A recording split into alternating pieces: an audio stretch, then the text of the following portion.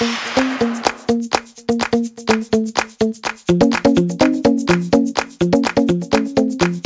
everybody. Welcome to La Lista, a Latinx Writers podcast. I'm your host, Ruben Mendive. Today we have a brand new guest. So I like to start my interviews by having my guests introduce themselves. So your name and how you identify for the people at home. Hi, my name is Elvia Susana Rubalcava. I use um, she, hers, ella, and I'm a Chicana, born and raised from Santa Ana, California. And so you led me to my follow up question. I like to ask my guests where they're from. So what's the short version? What's the long version? The short version is, you know, I'm from Santa Ana, part of Orange County. I moved around a lot, but I just recently came back about seven months ago back to um, my hometown. Um, but I like to say that I was conceived in El Paso, Texas, which where is where my family is from. And um, but that's not true. Like I was, uh, my family moved out a couple years before I was born. Um, there's six of us, and the two youngest, me and my younger brother, were born um, in Orange County. Where, what's your parents' story? Like, where are they from? What's their journey? How did, how did they come to like create you? So my mom, uh, Gloria Margarita Guevara Rubalcava, um, was born in Ciudad Juarez in um, in Mexico, and she moved out here or moved to the states um, when she was five years old. My grandmother, Agustina Guevara, um, her and her husband Santiago, um, she wanted um, more for her family and knew that you know there was future um, more jobs available and and she had like 17 kids my grandmother. And so she um, when my mom so my mom grew up with um, a lot of her nieces and nephews basically being her brothers and sisters because she's like the youngest. But my grandmother was determined to move out here to the states. Um, before she would help my grandfather he would work in the daytime cross the border to work in the gardens. He was a gardener. And then he'd cross back to the board, um, back to Juarez and sing in the cantinas. He was uh, a singer. And so he would work at the bars, and the soldiers from the United States would come over and get drunk and, and party down here. But I really love that story of my grandparents because the way they would cross the border, they would allow women cross to cross the border if they had money to buy something from El Paso from the market. And so my grandfather would cross the um, the Rio Grande and meet her, and she would take dry clothes to him, and that's how he would go to work every day. You know, my grandmother probably got tired of it and said, like, I'm determined to move, and she took care of all the paperwork, and so my um, my mother grew up in El Paso and um, in the Segundo Barrio, along with my my dad also grew up in the Segundo Barrio. He was born in El Paso, and they met in childhood and they knew of each other, but they didn't reconnect until it was like a party, a New Year's Eve party. And they connected and started dating and got married. Yeah. And so, what brought them over to like Southern California? They lived out in El Paso. They had four four kids there, and my dad he was he was really into ath- um, athletics. He was a bookworm, a really all around um, student, and he re- wanted to go to college, but he worked to help support his family. And then he realized, like when the kids were young, if they were ever going to get out of um, poverty, that he had to go back to school. And so he went to the University of Texas El Paso and got his um, electrical engineering degree. And he applied for multiple jobs. One of them was in Dallas, and the other one was in um, Newport Beach, California, with the Ford Aerospace. And my mom wanted us out of Texas. She knew, again, just similar to like my grandmother, of wanting more for us and getting us out of Texas and over here to California.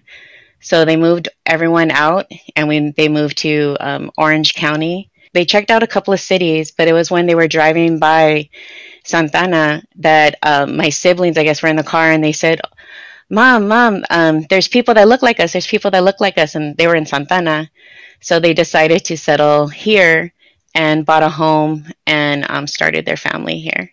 So he got a job as an aerospace en- um, engineer. The popular version is like the OC, that TV show, the Beverly, the Real Housewives of Orange County. That is the popular conception we right. have of Orange County. So, like, what's like your world? Like, what is the other side of Orange County that we don't know about? Yeah, I remember those shows came out when I was in high school, and I'm like, what Orange County are they talking about? But I knew some parts because, again, my dad, you know, I grew up, um, although my siblings, you know, they grew up um, when my parents were still struggling and young. My younger brother and I, when we came around, we were pretty much in a, uh, a middle class, upper middle class family, you know? And so my dad really pushed to take us out. Um, although we went to all public schools, um, in Santa Ana. On Sundays, we would spend the whole day together, you know, going to misa and then taking us out for breakfast. He would take us out to the movies, but he would take us to Irvine and Newport Beach and just really get us out of our bubble. And he would um, have us try different cuisines. And he, we would spend like Sunday evenings or afternoons watching like one or two movies and he would um, he'd want us to talk about them like analyze them and think about the direction and all of these things. But he really tried to so i was familiar with um, what people outside of orange county thought of the oc you know like beaches and stuff.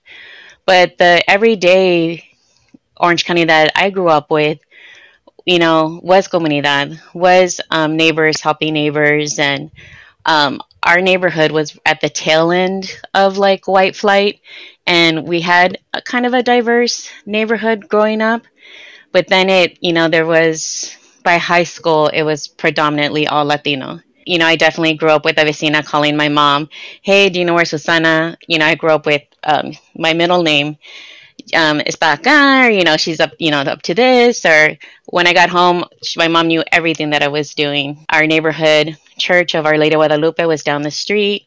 We were all catechist teachers. Um, they were very involved in the church. So I grew up with a lot. Although all my relatives were in El Paso, I didn't lose the closeness of what growing up Latino Latina was like.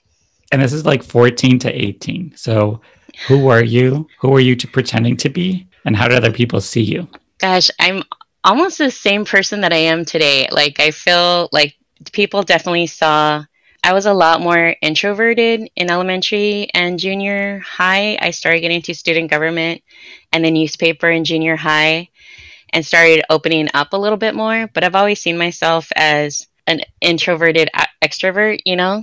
I, I've always been kind of friendly and getting along with everybody, you know, again, involved with student government. I was a big um, American, you know, Me- Chicana, Mexican American, like really believed in I was a history buff. I read a lot of about politics and things, but yeah, I was definitely nerdy, hung around other nerds, but definitely had all types of friends. I've always been in love with books. I grew up with um, reading. Uh, my dad always had, my parents always had a library. My mom would always read to us or, or tell us stories.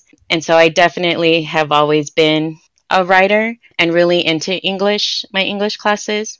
I guess what a lot of people saw too, though, was sometimes just a loner or just observing a lot. And, um, but it was a really like mix of also being the extrovert, speaking out um, for myself, or if I saw injustice, even in high school, there was a moment when our one of our English teachers had an affair with a student, and our honors classes had emerged together and our um, I was a junior in honors and the senior APs. They were really upset because um, regular seniors and honors um, juniors were going to read the same book as they were, 1984. And I remember we had a discussion about it with our um, our honors English teacher who had to take over the AP class. And I just remember um, speaking up and being like, "You guys are totally missing the point of the book if you think that only you should be allowed to read 1984. So, although I was kind of introverted, it was always really important to me to speak out when necessary and sometimes in the face of although I, I, I, had a beautiful childhood my high school years was also really hard because my parents were going through really not a bad divorce like it was like towards the end of their marriage and I finally had to speak up and just be like, you know, um, speak up about what was going on at home. Because it was the same thing in my family. We were very outgoing, very involved in our church, but at the same time, things weren't perfect at home. You know, and we don't talk about those things. We we keep them inside. So it was high school was definitely a struggle of writing a lot to deal with all those emotions. yeah. Um, what'd you do after high school? I secretly applied to away schools behind my dad's back because my dad had he had six they had six kids so his plan was you go to a junior college and then you transfer because how was he going to pay for you know everybody to go to school um, but again it was um, a really hard family life and i needed to get away. So i applied to Cottey college which is was in missouri and i didn't get an acceptance letter. I got a phone call. I think i was going to be their only person of color. And they're like you know we want you. We want you to apply for all this financial aid. And um, when I told my mom that I was leaving and it was just going to be her and my younger, my dad and my younger brother, she finally realized um, that um, she wanted to divorce my father. So I declined those offers and I ended up going to Santa Ana College and I registered. My sister took me, I registered like the day before. So I took classes like ethics and political science and all these um, hard classes that a freshman normally wouldn't take. But because my mom finally agreed to divorce my dad, I had to stick around to help her with my younger brother and also help her with um, the divorce. Like, what was the plan? Because you're going to college now. Like, did you have like a like? Did you know what you wanted to pursue professionally? I always wanted to be a writer. Um, I mean, I've had my my diary since I, you know, was little. I have some of them um, behind me but again, I, you know, my dad was really, um, when I would bring it up, he'd be like, no, no, no, no, you do that. That's a hobby. You do that on your own time. Open up a newspaper, see what jobs people are hiring for. You know, he wanted us to be lawyers, doctors, engineers. And so I was going into um, law. I my degree is actually in legal studies from Chapman University. But you know, when they separated, it felt like you know a new freedom to decide what I wanted to do. But those pressures were kind of still on me, so I was still pursuing political science and and history and um, legal studies, but I was good at it. You know, I enjoyed it. I read a lot of nonfiction. I read a lot of um, the civil rights movement. Really interested me. So, and then having to take all those classes that I did my first semester, it even pushed me more to that um, field. So, I always thought I was going to be a lawyer when I grew up. Yeah. So, can you describe your time at Chapman? Like, why did you decide to go there? Like, what do you think you got out of that experience? Yeah. So, I went to, like I mentioned, I went to Santa Ana College, and I um, I got involved with student government again, and I met a wonderful friend. Um, her name is um, Dr. Um, Ayolabi. Actually, today is her birthday, but she was involved with the Black Student Union, and she was the one that invited me and introduced me to Mecha at Santa Ana College, and um, we got really pol- politically involved um, during those years. And we met uh, Professor Dr. Will, um, um, who passed away a few years ago from Chapman University. And he pushed her to apply. And so I went to go check out the campus because I was applying for like USC and Mills, um, a women's college. I was really into women's colleges, but Chapman offered me the most money and it was still local where I can kind of keep an eye on my family. Uh, it was definitely a culture shock, you know, going from Santa Ana College, which was predominantly Latino um, people of color, to where it was not only just uh, majority white, but rich, uh, rich white. I, our first day of orientation, we both um, started the same year, and we noticed there wasn't a Black Student Union table, you know, out in orientation with all the other clubs. So we went to the student activities, and we're all like, "Can we put a table up? We're going to start a BSU." and, and so we did that and we organized a BSU. It hadn't been around. There was a handful of black um, students. I think the year I went in, there was only one black uh, freshman. And then eventually I met other Latinos, uh, Mexicanos, Chicanos, and got involved with Mecha. And we became sister clubs with BSU. But Chapman was definitely where um, my activism really exploded. I was active at Santa Ana College, but I mean Chapman definitely exploded that um, that fire within me as an as an activist. You know, I am curious about Mecha just because I don't think we have that in Chicago. I, I've only heard of it like casually and like when people are like championing it or talking crap about it. Can you just explain to the audience and me like what is it? Like where did it come from? Like what what what does it do? It's Movimiento Estudiantil Chicano de Aztlán. Um, Santa Ana College version was very different. Like again, the my first experience with them was going to a statewide conference, and it was just um, a bunch of speakers and different things. And then at Chapman, it was a smaller group, and we really melded it to um, to us. But for me, and I, I became the president at one year. But for me, it was just really important so it's a, you know a political student organization, and um, they would do conferences and workshops, or um, they would bring in high school students to come and visit the campuses. Um, they would speak out on issues not just in concerning um, students, but in their communities and neighborhoods. It was a national organization, so sometimes you know they would get together.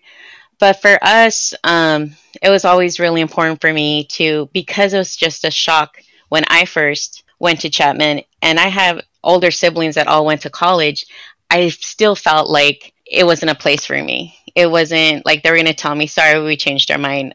I felt like I didn't belong. And so it was really important to me after being there um, of not letting freshmen, not just Chicano Latinos, but um, students of color not feel like they don't belong there. So it was really um, having our own type of orientation, mentorship, you know, giving them books um, to read, um, making sure that they knew, especially if they were living on campus, that they knew that someone was there. We used to have like this thing called like the brown table, and it usually was like one or two tables because there wasn't that many of us. But, you know, some of us were struggling, some of us were, you know, carpooling to campus and you know we'd share our lunches together we'd study together we made sure no one was left behind or thought of dropping out. Um, so it was a lot more um, like we didn't do the normal things that a typical mecha would do. You know we it was definitely very because there was so few of us we it, it tightened our um, our community even more. And we had wonderful mentors uh, dr paula Apodaca and a number of professors, a handful of professors that um, really helped um, guide us during that time. Dr. Young, who is part of um, the Black Student Union, you know, she helped guided a lot of Mecha students, a lot of Chicano Latino students as well.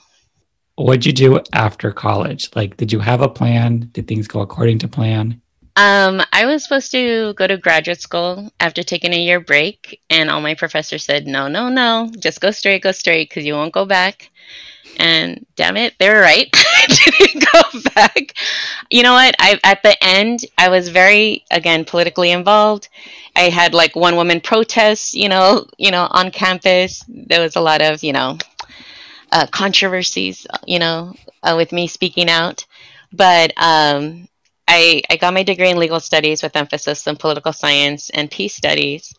But by the end, I was also working a couple of jobs at the same time. I remember my graduation day, just crying because I was so exhausted. I was just burnt out. And the thought of going straight into another program just, you know, I didn't want to do that.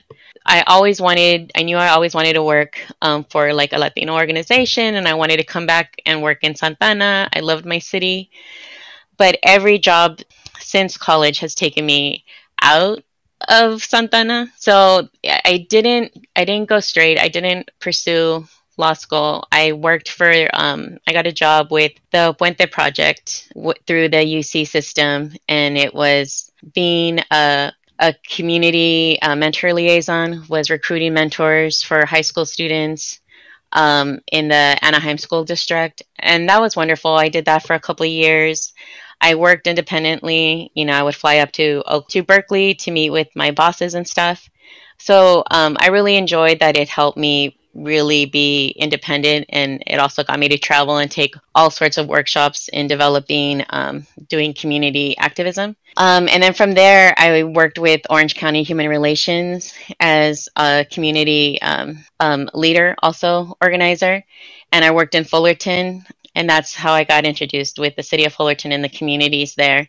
It was training um, grassroots leaders on how to um, speak up, how to um, be make sure that they're part of the decisions um, that were happening with the city. They had bridging the communication between the police department. So it was just being, again, a liaison with the school district, organization, businesses, but particularly the police department. The year before, they had received an award for their community policing, but they had so many problems with the city. I really, it was the field that I really wanted to get into, and I loved it. I did it for many years, community organizing. But um, I'm a bleeding heart, and I got really invested in the community. And and there's some families that I'm still friends with. Um, I've seen their kids grow up, and they're now having their own families and have gone off to college.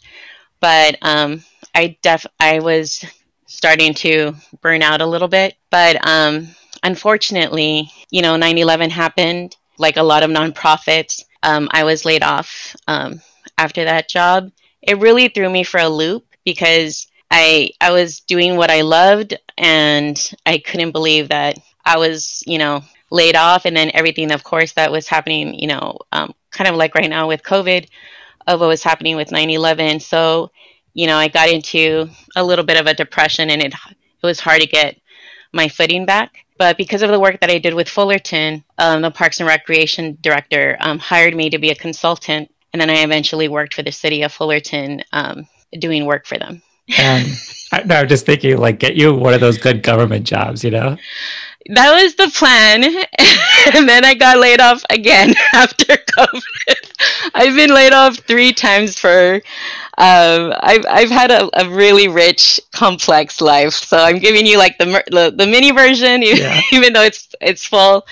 But yeah, sadly, um, I my last position because I I worked my way to different things with the city um, the director of the time at the museum heard about me and I interviewed for a job and she didn't give it to me. And she said, I didn't give it to you because I think you'd be really great at the museum. You're creative. I had mentioned that I was a writer and I worked in theater. So I worked for the Fullerton Museum Center um, for almost six years. But unfortunately, the first things to go when we're in a financial crisis are the arts. So um, for now, the museum's shut down. So, like, when did the writing come in for you? Like, is it something you had in childhood? And like, where was, when did it turn into something you're like, okay, this is something that I do now? Always been really interested in writing, but again, books, you know, I was always a, a reader first.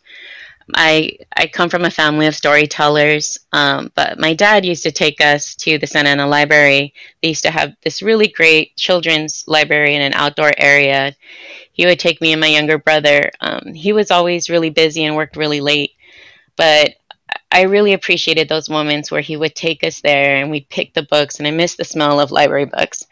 I loved how stories transported you and how and how some of them were really personal and then when I started, you know, in elementary school where they having you start writing essays and paragraphs, it felt freeing. I was always, I've always been the type of person that's I get it in my head a lot and I I write a lot in my head and then I have to really make myself put it down on paper. But again, the loner kid in elementary school, you know, I've always been a chubby person and so I was picked on a lot in elementary school. And so I spent a lot of time by myself and I used to talk to baby Jesus. I used to write my my diary. I would call it dear book. So, but they were like persons that I would speak to. But writing definitely, I feel like saved my life, especially with all the the turmoil in our home environment where we couldn't share what was happening. I, I wrote a lot in those diaries. I, I I wrote a lot in my journals, and when I couldn't draw, I would I mean, when I couldn't write, I would draw. And so I just kept developing it. And then just slowly, English teachers would pull me aside and, you know, I would get stuff published or I was involved with the newspaper and I would write articles. In college, you know, history, political science professors, they, they'd talk about my essays, how they were poetic. And this is like on stuff about history, you know?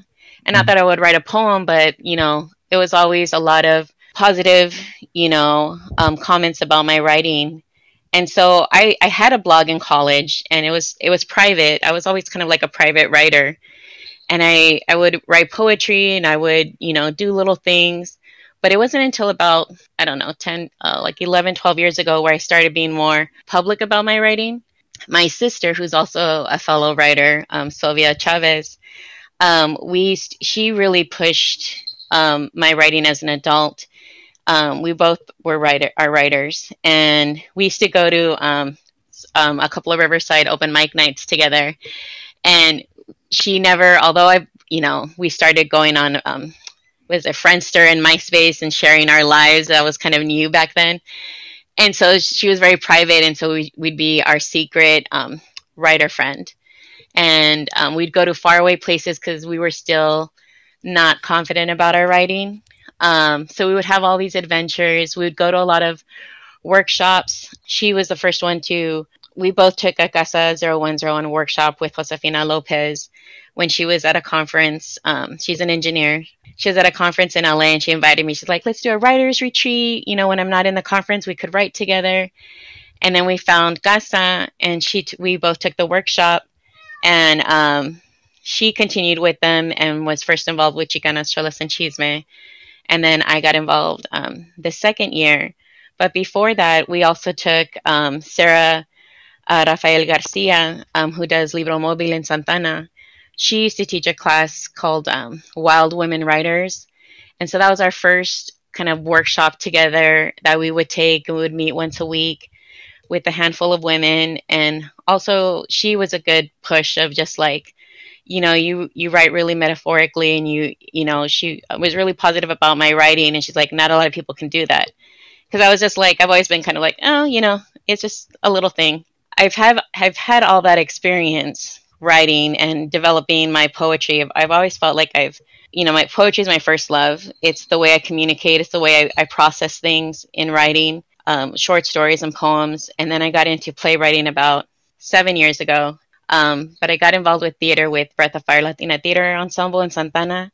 You know, all I did was take political science classes in college, and I never was able to take Chicano studies classes or creative writing classes. So I took a year at Fullerton College and I took every Chicano class that they had, every creative writing class that they had.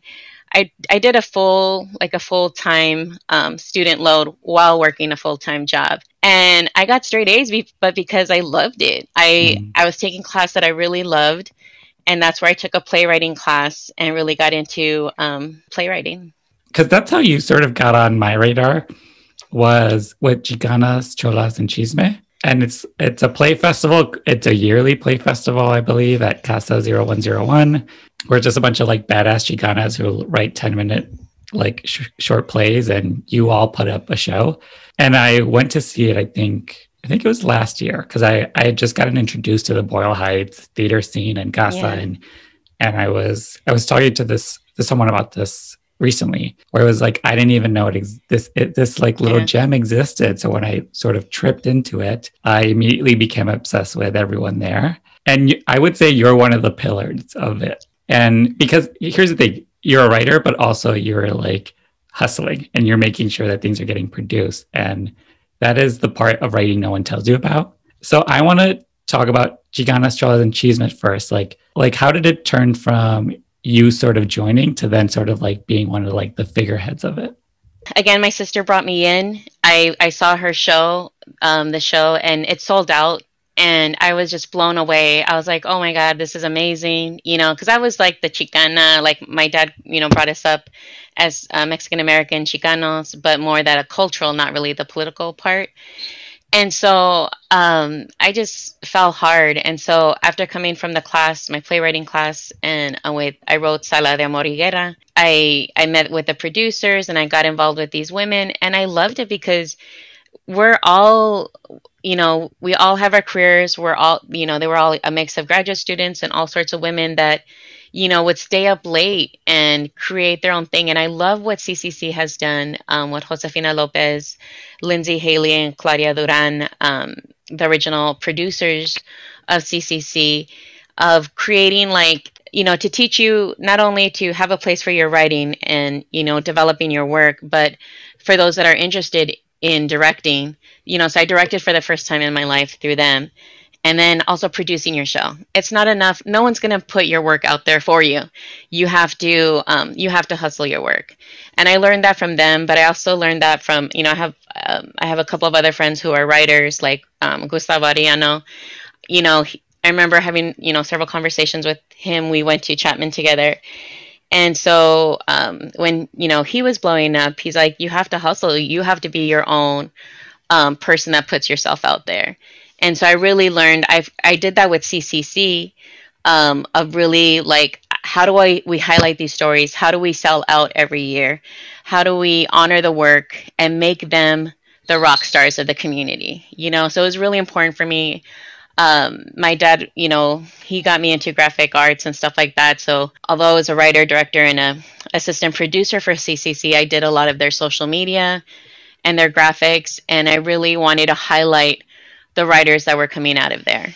I love that we've we this is our ninth year. Unfortunately, we didn't get to do a new season. Um, we only were able to do a few weeks of our eighth season.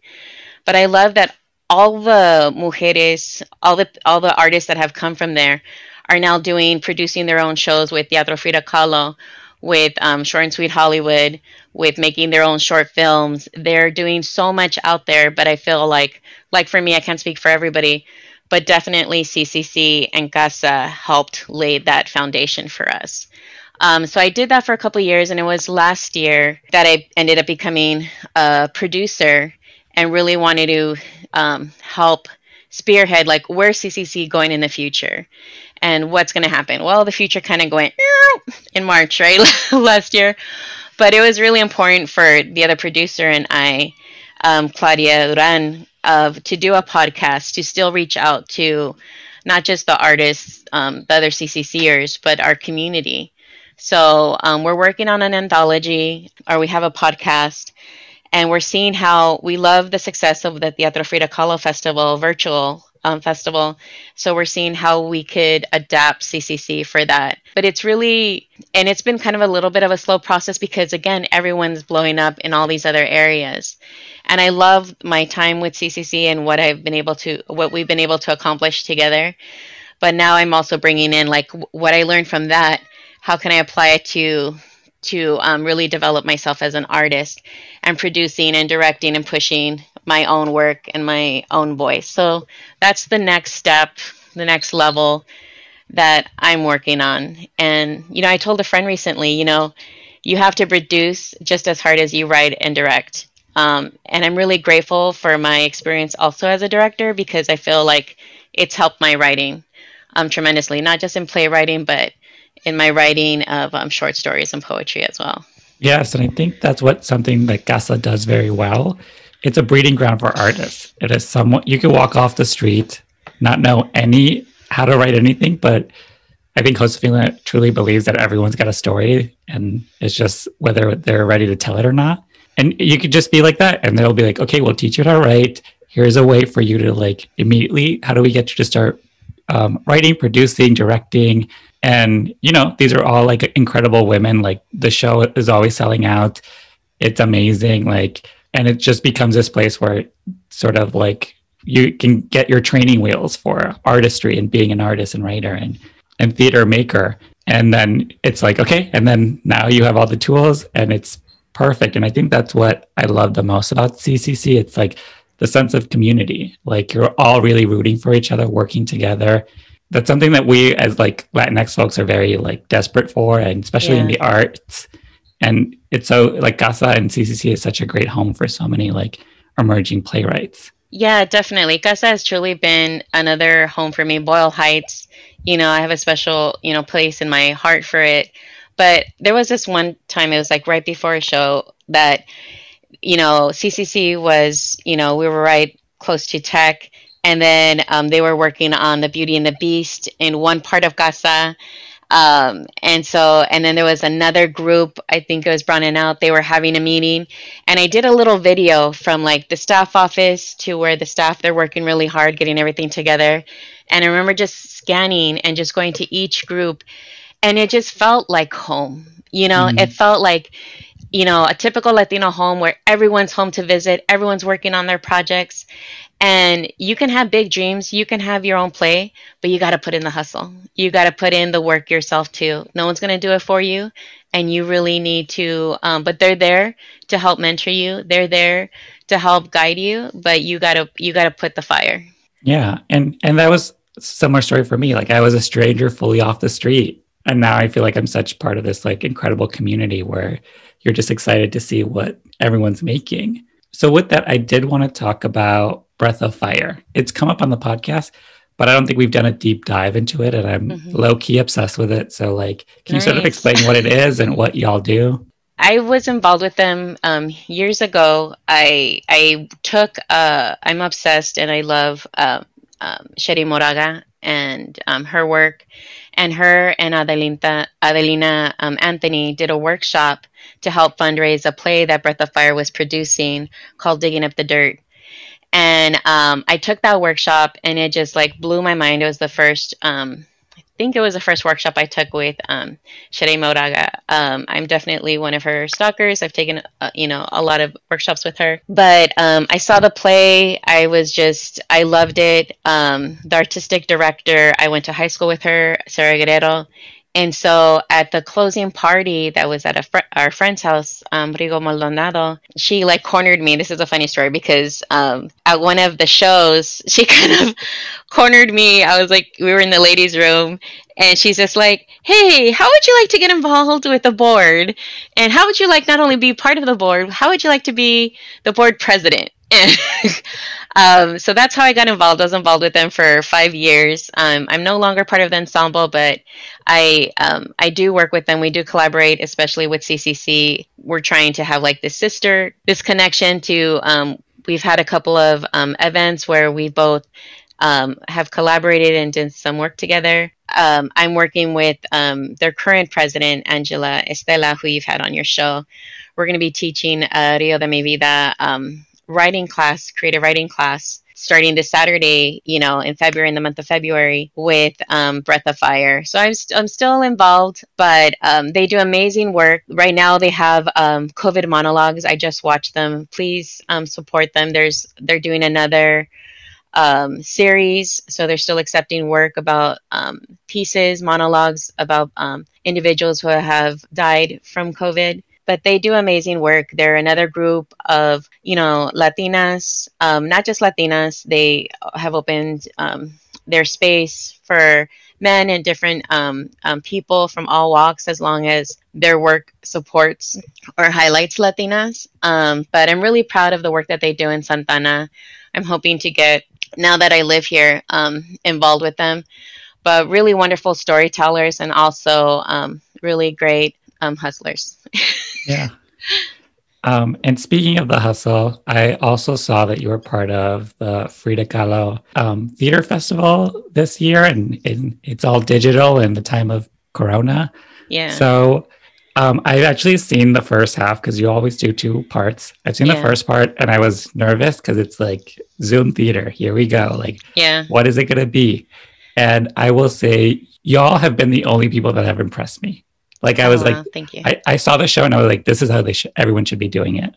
Yeah. Like it is, because it's a mix of short films. It is a mix of like, like recorded live theater. It is a mix of Zoom rooms and, and it all works. And I, and listen, I've seen a lot of Zoom shows. Yeah. I haven't seen what does successfully till I watched yours and I was like, oh, this is like a master class in how to do like storytelling virtually. So like, yeah. what was the journey of like being like, do we still do this? How, yes, how do we figure it out? Yeah, um, I'm so grateful for this festival. This is, I think, my fourth year involved, and I we submitted pieces, and we thought, you know, hey, we'll be safe, and the theater will open up again, and we'll do this. But when it started going, you know, that we would have to do it virtually, you know, we Ruben um, Amavisca was has been really great. What's great about this festival is like it's basically on your own. You gotta you gotta put it together. You're produ- you're your own production company, and you have to do it. And I remember when he brought it up that he's like, ah, Zoom theater is you know boring. I'm just you know try and get it you know taped. You know work with your actors.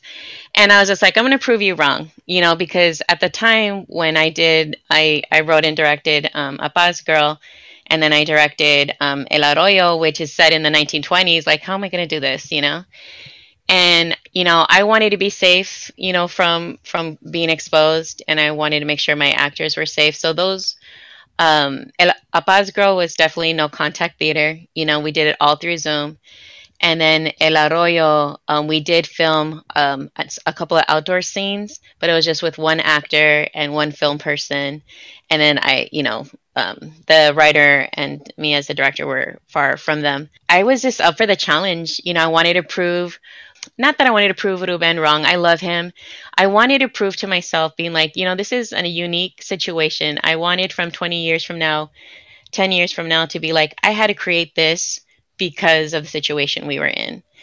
And um, I was up for the challenge. I took a workshop um, by Marcos Najera, I believe, through the Latino um, Theater Alliance a few months um, back.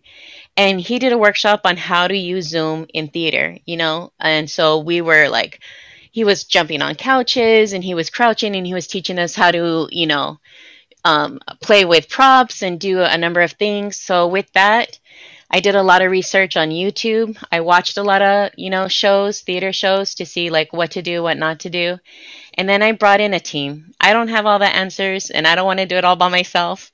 I, I love the community effort. So I brought in, um, because A Paz Girl was so personal, um, I wanted to bring in an assistant director, which was Carmelita Maldonado, another wonderful playwright as well. And um, I brought in Santi Samano, who's part of the ensemble of Breath of Fire, as a technical director. And then it was also very collaborative. The actors were really up for the challenge as well. Only one or two of them had done something on Zoom, but everyone else was new. But, you know, I had some of them like, you know, at one point, some of them are crawling on the ground, you know, especially for El Arroyo. They would put their laptops on the floor. They would, you know, do all sorts of things just to add depth um, to the play. But um, I was really proud of. I'm involved with two projects in session one. We have session two, and I directed or helped direct three pieces in section in session two. But um, I loved I loved the uniqueness. I loved how each play um, did something different. Like Angela's, like it was filmed on location at a laundry mat and you could tell that it was filmed to protect the actors, you know, but it still all worked. And then there's another one that by Joel with the high school students that I loved. They're just unique way of using camera and just suspending reality for a little bit. And because when we're on the stage, mm-hmm. we don't have all these things. It's not going to be perfect. So for me, it's just like you got to try. It may not be perfect, but you know you can't like wait to, for someone to do it for you, but you also can't be afraid to to try or to mess up.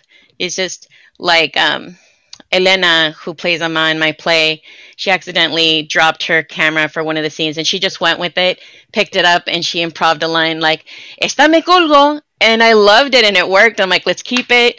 When you drop your camera, what would mom have on the by the keyboard? You know, and she of course is the vaporu and the cinta and her rosario. So I love that we still had that feeling of theater where things are improvised, things, you know, um, we you don't lose the quality. They still had to be off book. They still gave it their all. What are the themes you see in your work? What are the characters, the like the stories that are attractive to you? So I'm a creative nonfiction writer. I guess that's one of my identities or how I identif- um, identify. I write from personal experience. Um, and so again, my writing has has a lot to do with um, dealing with personal problems or situation. The play A Paz Girl that conversation happened with my dad um, late one night. And um, and it stuck with me. And i remember writing the whole conversation down. And um, i did leave right away to el paso because um, that's where he moved back to. So my storytelling you know is definitely rooted in my family and my personal experience a lot of my plays started off from a poem or from a short story that i wrote this poem that I shared last night with um, Los Angeles Poet Society. It was called um, uh, "What Do You Do with Your Last Forty Dollars?" and it's a poem about like being laid off in the midst of COVID. But I remember just saying that line when I was pumping gas and being like, "I have forty dollars till payday." so the couple, how do I stretch these forty dollars? And that line came to me, and I didn't have you know anywhere to write, but I, I recorded it on the phone and so I process things. I'm still that internal writer. I'm still that person that needs to that my stories come from personal experience and and just I've I've learned and it's it's a hard skill, and I really appreciate that. I'm really also getting into um, paying it forward and teaching creative writing classes now. Is helping to share your story, to share with detail and with honesty, because being a playwright and seeing people experience what you wrote or hearing them react, crying, laughing, or whatnot, it's been a blessing because not just as a writer to feel like good about what you did, but to know you're not alone with all that pain. You're not alone with the things that you have to face. Like it sucks right now, you know, but it's amazing to feel connection, to um, to make community with other writers and artists or people who never thought that they could be a writer. And you know, with these classes, there's so many writers that I admire or and they're so new. They're like, I've never written a poem before, or I've never written a short story before. And I'm like, it sounds like they've been writing their whole lives. Yeah. But yeah, that's the that's the magic. And I think you see that a lot in these workshops. And yeah, it's like, where have you been? Like Yeah. And that's what I get from your podcast. I love La Lista. I love that you know, I delve into like these writers and I'm hearing their stories and it sounds like a little bit like my story and that they're just so raw and open about their lives um, is just beautiful because you don't feel alone. You're in your car driving, you know, it's, it's a lot of times when I'm listening to it and you feel connected to this larger community. And, and just thank you so much for that, Ruben. Yeah, of course. I mean, I'm just taking the inspiration y'all gave me, you know? Yeah. and just try to pay it back. The whole reason I started this podcast was because I saw all the talented people in Boyle Heights. And I was like, uh, hello, we need to, t-. like, I'm not kidding. Like, you are definitely like one of the pillars of this community. Like, oh, thank you. You like you deserve all the love, all the cash, like all the praise, because because yeah, it's you're someone I definitely admire as a as a playwright, as a creative, as a writer. Oh, and oh, thank you. And I'm trying to make sure you get paid. I'm trying to make sure. Oh, you... thank you. I'm trying to make sure to get paid too, because now I'm trying to do this full time. Now that I'm unemployed, I'm like, okay, Elvia, what are you gonna do with this? And when I got laid off from the Orange County Human Relations, I was in a deep depression. You know, it's hard for me to.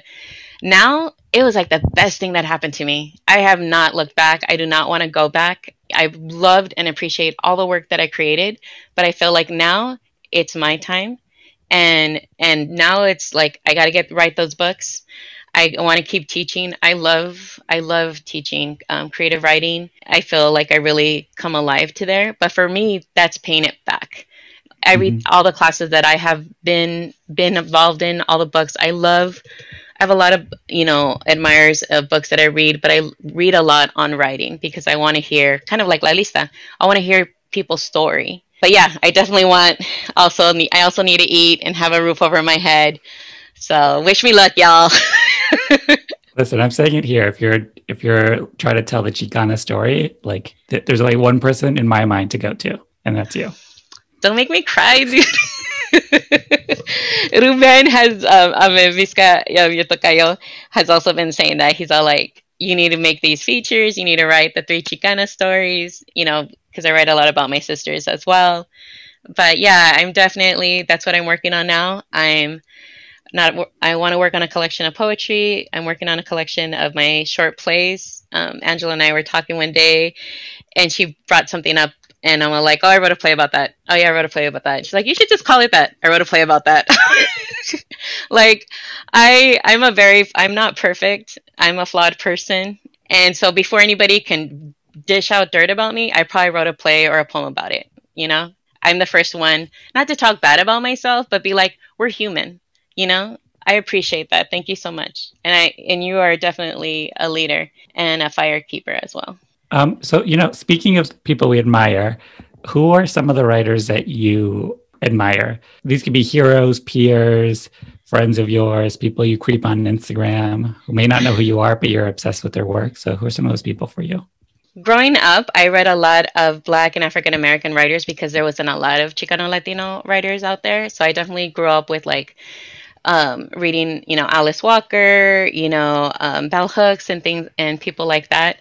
But um, Cherríe Moraga, um, Gloria Anzaldúa, definitely, um, Sandra Cisneros, Ana Castillo, definitely, you know, just really um, exploded my my head and a good friend of mine, Adriana Alba, was the one that introduced me to some of these writers and shoved these books in my hands. And, you know, Um, but now it's, you know, I have Araceli Gourmet, of course, Jessica Salgado, all the writers from CCC, just every year like their writing is just you know it's so on point. I love different um, people and um, communities like sunday jump the people in sunday jump it's a filipino um, spoken word group um, mujeres maíz. I've been involved with some of their um, some of their zines and they have um, a wonderful um, art um, group from there. Lorena ortega is a wonderful storyteller. She's part of ccc my sister she's a wonderful playwright but her poetry is just so raw and beautiful.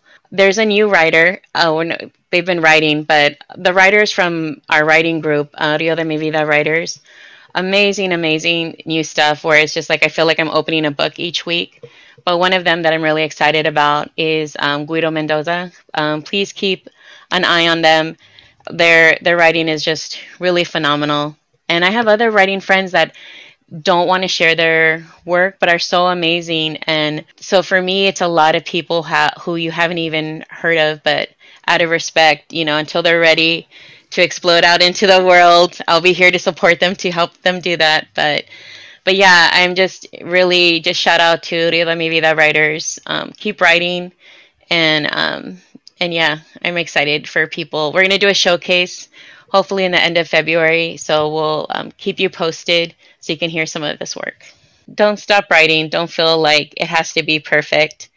Um, I really feel like, and there's people out there who will support you and don't listen to the naysayers. I had a lot of naysayers when I got involved with theater. They're like, oh, you know, what's this about? Or, oh, is this your new hobby? And if I listened to them, I would have stopped. And now some of these naysayers are like, oh, what are you going to write about next? Are you going to write about me next?